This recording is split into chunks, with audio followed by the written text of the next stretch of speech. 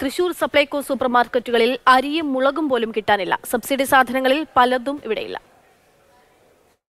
പൊതുവിപണിയേക്കാൾ വിലക്കുറവിന് സപ്ലൈകോയിൽ ആവശ്യമായ പതിമൂന്ന് ഇനം ഭക്ഷ്യവസ്തുക്കൾ ലഭ്യമാണെന്നാണ് ഇന്ന് അല്പസമയം മുമ്പ് ഭക്ഷ്യമന്ത്രി നിയമസഭയിൽ പറഞ്ഞത്.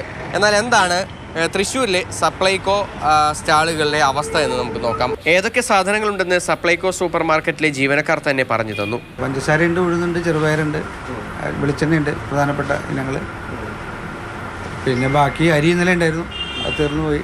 മുളക് മല്ലി ഇപ്പം മല്ലിയുണ്ട് മുളക് എത്തിയിട്ടില്ല. എന്നാൽ വാങ്ങാൻ വരുന്നവർക്ക് പലതും കിട്ടാനില്ല. അരിയില്ല മുളകില്ല ഉഴുന്നില്ല ഇങ്ങനെ പട്ടിക നീളുന്നു. അരി കിട്ടിയിട്ട് ഇപ്പൊ ഒന്നൊന്നര മാസത്തോളായി. ഞങ്ങൾ വടക്കേ സ്റ്റാൻഡിൽ പോയി. അവിടെ ഇല്ല ആ ഇപ്പൊ ഇവിടെയും ഇല്ല. പച്ചരി? പച്ചരി അവിടെ ഒരരിയുമില്ല ഇവിടെ പച്ചരി ഉണ്ടോന്ന് എനിക്കറിയില്ല. ഞാൻ ചോദിച്ചു. പഞ്ചസാര? പഞ്ചസാര കിട്ടി. മുളക്? കിട്ടി. മുളകില്ല. ഉഴുന്ന്? ഉഴുന്നുണ്ട്. മല്ലി? മല്ലി ഉണ്ട് പിന്നെ കടല പരിപ്പ്? കടലില്ല പയറില്ല പരിപ്പൊക്കെ ഉണ്ട്. തൃശൂർ നഗരത്തിനോട് ചേർന്നുള്ള ഒല്ലൂർ സപ്ലൈകോ സൂപ്പർ മാർക്കറ്റിലാണ് ഈ സ്ഥിതി. മറ്റുള്ള ഇടങ്ങളിലും കാര്യങ്ങൾ വ്യത്യസ്തമല്ല. Sujeeva ടാമിക്കൊപ്പം M S Lishoy Mathrubhumi news Thrissur.